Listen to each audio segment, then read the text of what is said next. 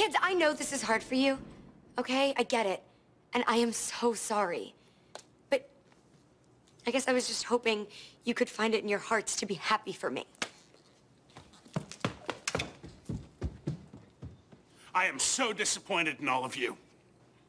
Jessie has put your happiness before hers for the last three years now. She's picked you up when you've fallen. She's made you laugh when you were sad. She even managed to turn you into young men and women that I don't find totally unbearable. Well, most of you. That's fair. So, now it's time for you guys to return the favor.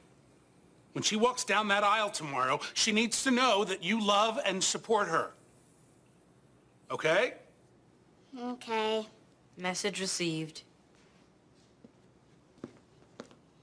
Wow. I've never seen Bertram so upset.